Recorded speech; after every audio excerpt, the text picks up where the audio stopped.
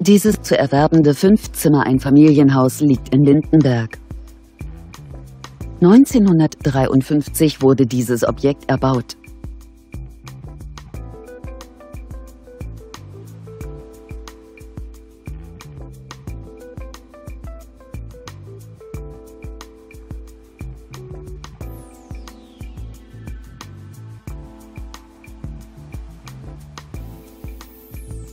Auf einer Grundstücksfläche von ca. 813 Quadratmetern bietet das Haus eine Wohnfläche von ca. 125 Quadratmetern.